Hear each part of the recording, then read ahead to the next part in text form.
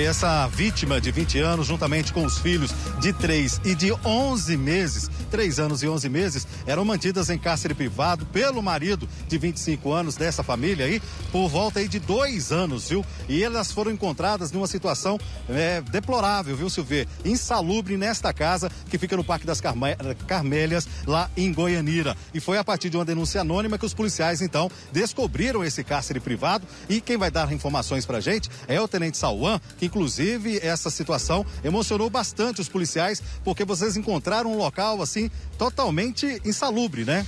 Boa noite. Boa noite, boa noite a todos. Positivo. Hoje pela manhã fomos noticiados dessa ocorrência na rua 12, no Parque das Carmélias, em Goianira. Ao chegar no local, deparamos com a vítima. Conversando com ela, ela estava sendo mantida em cárcere privada ali ela nos informou que o seu esposo saía para trabalhar, é usuário de droga e deixava ela trancada com os dois filhos menores. Com o apoio do Corpo de Bombeiro, nós cortou a corrente do, do, do cadeado do portão, adentramos.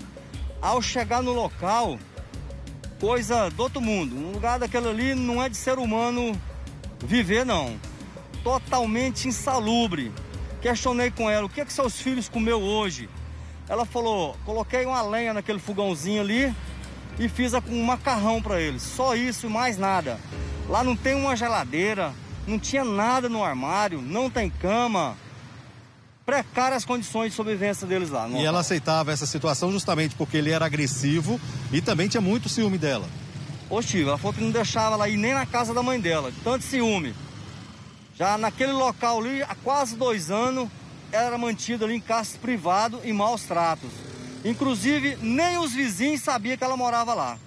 Agora, tenente, nós temos inclusive, ao se ver, uma conta bancária aí, agência 1394, a operação é 13, que é poupança, 23721, dígito 1, que é da poupança, né? Em nome de Daniel Pereira de Souza, que é uma pessoa que está tentando ajudar também essa mulher, porque ela precisa de tudo, né? Ela e os filhos.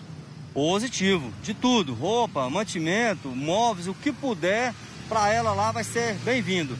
Inclusive, de imediato fizemos contato com o senhor Major Fábio, que é o nosso comandante da 48 CPM.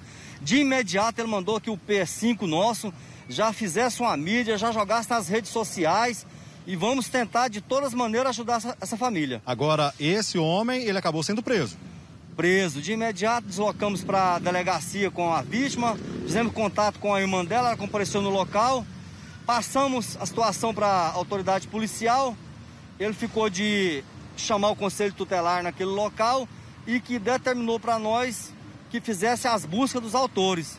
Em contato com a vítima, ela informou aonde nós encontraria ele, que era no frigorífico Boa Vista, onde ele trabalhava. Deslocamos até o local, fizemos a prisão dele, e apresentamos eles à autoridade policial. Tenente, só para a gente encerrar, como foi a reação dela no momento em que ela foi resgatada? Muito. Nossa, ela ficou emocionada, muito. Ela ria, não sabia o que, é fazia. Quando nós abrimos o portão, o menininho falou assim: Ué, nós vamos sair. E começou a rir também. Muito triste.